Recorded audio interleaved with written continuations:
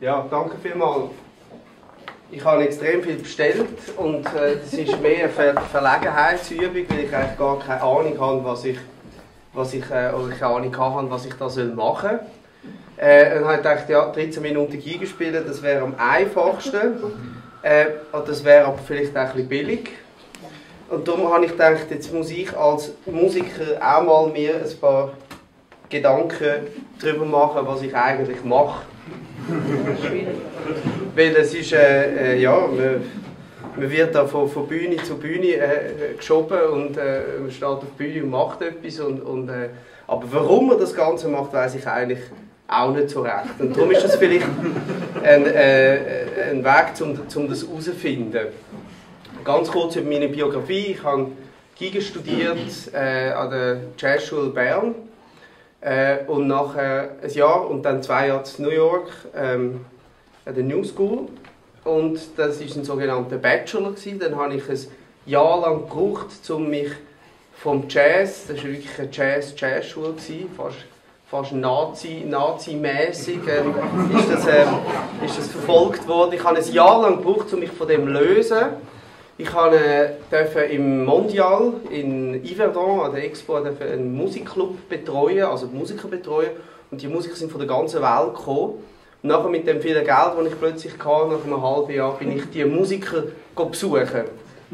Also ich habe eigentlich wirklich ein halbes Jahr keine Geige gespielt. Es war wirklich ein Ablösungsprozess, den ich gebraucht habe. Und nachher bin ich äh, in die Länder gegangen und habe nach diesem wieder angefangen, Geige zu spielen. Dann hatte ich ein wahnsinniges äh, Giga-Manko, weil ich in der Jazzschule war und es gibt keinen Jazz-Giga-Lehrer. Das war auch ein Problem von mir. Aber irgendwie haben sie gefunden, das ist noch musikalisch, den nehmen wir trotzdem auf. Ich habe bei Schlagzeugern gelernt, bei Pianisten, Saxophonisten, allem möglichen, aber nie bei einem Giga. Und das hat sich in meiner Intonation und äh, äh, Geigenbogentechnik extrem bemerkbar gemacht. Ich habe dann, gefunden, ja gut, wenn wir schon in Zürich sind und wir haben das Konservatorium vor der Haustür, wo sehr günstig ist zum Angehen verglichen zu Amerika, dann mache ich noch zwei Jahre Klassik. Was ich dann auch gemacht habe und ähm, wirklich habe müssen kämpfen, sehr, sehr, sehr viel geübt habe, um die drei Jahre aufzuholen und mich wirklich dieser Musik verschrieben. Gut, jetzt, was mache ich jetzt? Jetzt bin ich ähm, sogenannt selbstständiger Musiker. Ich habe eine Band, die ich jetzt seit zwei Jahren verfolge. Wir haben eine CD draussen.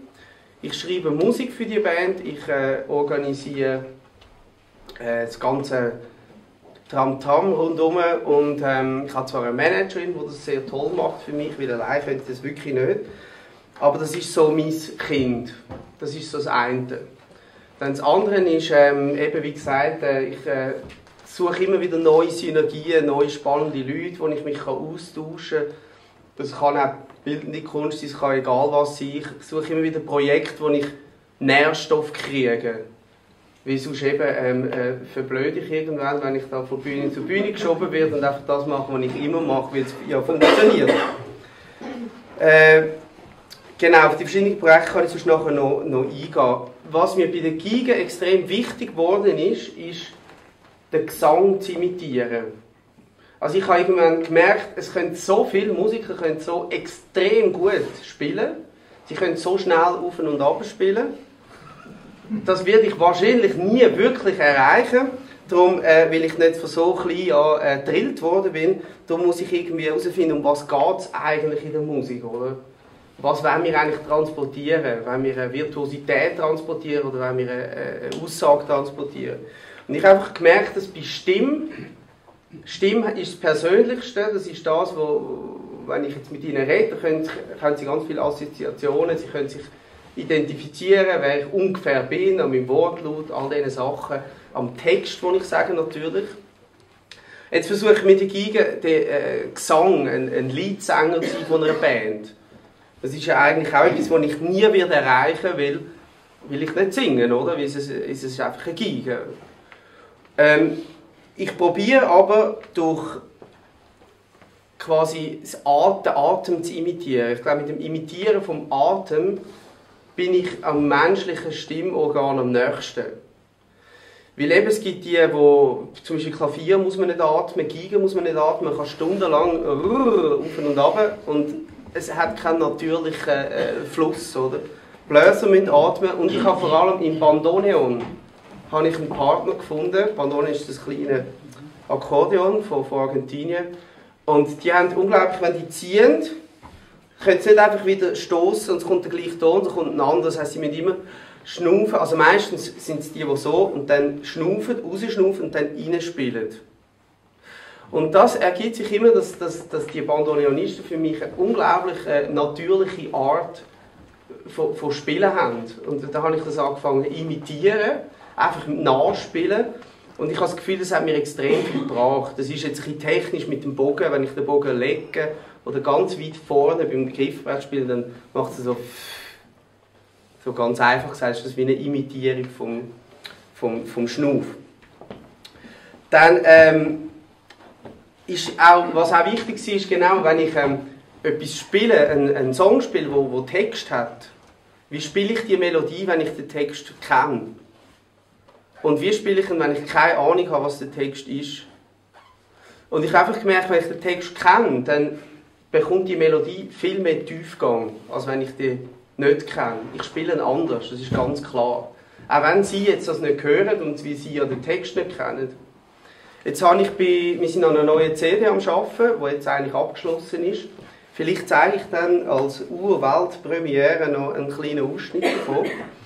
Ähm, bei dieser CD habe ich tatsächlich bei den Stücken, zum Teil bei den Melodien, einen Text geschrieben, wo ich selber für mich weiß, aber niemand anderes weiß. Das ist auch bewusst so, das soll auch so bleiben vorläufig. Aber äh, das habe ich dort, dort angewendet. Ähm, dann ist mir noch, äh, was auch noch wichtig ist, oder sagen wir, wenn man generell über Komposition redet, es gibt ja das Bauchgefühl und es gibt äh, den Intellekt, oder? Also ich bin völlig verbildet, sagen wir es mal so. Ich habe drei Jahre im Bachelor und zwei Jahre Master in zwei verschiedenen äh, Sparten. Ich bin eigentlich total verbildet und das hat auch eine riesige Gefahr für sich, dass man eigentlich nur noch in diesen Bildungsstrukturen denkt und, und nicht mehr offen ist für Neues. Und so habe ich ähm, äh, immer versucht, extrem kindlich und, und offen und unverblümt äh, an etwas anzugehen. Und da gibt es eben ein Bauchgefühl und es gibt den Intellekt. Und beim Bauchgefühl habe ich einfach gemerkt, wenn ich es drei, vier Mal hintereinander mache, etwas, etwas schreiben oder etwas hören oder etwas äh, äh, komponieren und ich habe immer ein gutes Gefühl dabei oder das Gefühl wird noch besser, dann ist das, ist das eine Bestätigung. Ich habe gemerkt, dass der Intellekt sich extrem schnell lässt, äh, beeinflussen Wenn ich mit jemandem rede und ich habe meine intellektuelle äh, These, dann kann er sie innerhalb von einer Sekunde widerlegen und ich tendiere gerade in die Richtung, während mein Bauchgefühl eigentlich immer bei mir bleibt. Das ist etwas, was für mich noch wichtig geworden ist. Trotzdem ist der Intellekt natürlich extrem wichtig.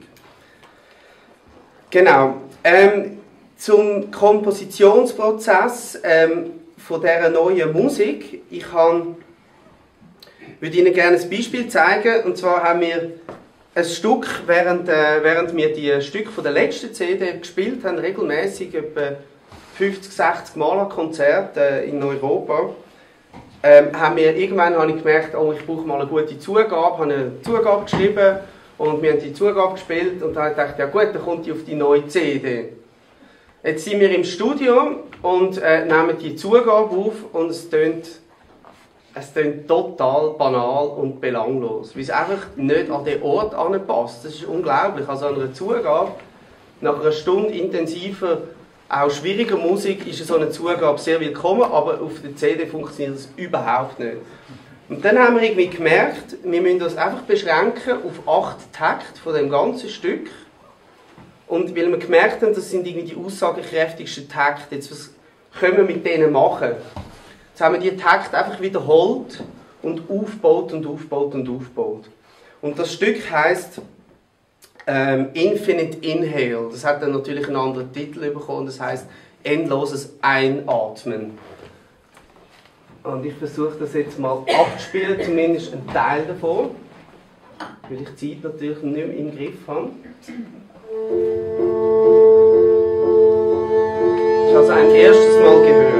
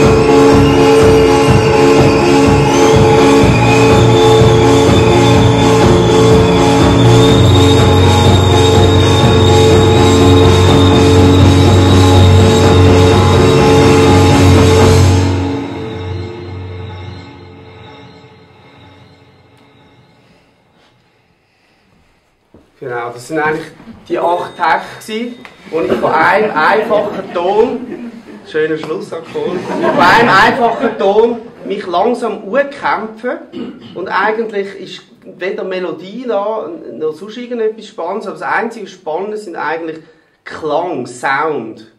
Ihr habt vielleicht gehört, es hat so komische Vermischungen gegeben, es ist mit Schlagzeug, mit Perkussion im Klavier drin, es sind Sachen passiert auf der Giga. Ich habe mich einfach aufgegangen, bis es nicht mehr gegangen ist. Das ist eigentlich dann plötzlich ein Stück geworden. Also es ist, gut, es ist nicht in dem Sinne wirklich ein Stück, das kann man nicht einen Song nennen. ähm, aber es ist zumindest das erste Stück von der CD geworden als Intro. Und ähm, da kann man vielleicht sagen, ich tue jetzt in dem Fall alles da abkürzen, das ist wunderbar, ähm, dass wir eigentlich die sogenannten Genau, da wollte ich sagen, dass die, die sogenannten schwarzen Schwäne jetzt bei uns, bei der Musik extrem wichtig sind. Also ich bin extrem froh, wenn ein schwarzer Schwan kommt. Wie jetzt dort, dass das nicht funktioniert. Wie dann müssen wir uns andere Gedanken machen und sagen, hey, wie kommen wir jetzt weiter? Jetzt haben wir ein totales Eich, alle finden das blöd, es ist Katastrophe, wir haben einen Song weniger. Wie kommen wir da weiter? Ein anderes kurzes, ganz lustiges Beispiel ist, ich habe mal gespielt, ähm, irgendwo, ich weiß auch nicht wo. Auf jeden Fall ist Radio Live-Übertragung und es war eine generelle Anspannung. Gewesen. Der, der Sound war komisch, gewesen. wir haben uns nicht wohl gefühlt. Es war ein brechend voller Saal, gewesen. es war extrem heiß. Gewesen. Es war einfach extrem unangenehm. Gewesen. Auf jeden Fall spielen wir da müde uns ab und plötzlich fliegt eine Fledermaus durch den ganzen Saal durch. Und das war unser schwarzer Schwan, der uns geholfen hat, Plötzlich ist eine extreme Erleichterung da, das Publikum ist plötzlich wach geworden. Wir sind plötzlich wach geworden, wir haben gemerkt, unsere eigenen Töne sind gar nicht so wichtig, wie wir immer das Gefühl haben, sondern es geht um viel mehr. Und äh, dank, dem, äh, dank dieser Fledermaus haben wir, ähm, haben wir de, das Konzert gut überstanden. Somit habe ich meine 13 Minuten überstanden und dass die Tafel nicht ganz für die Katze gekommen ist, kann man da noch schreiben. 감사합니다. 예, 예.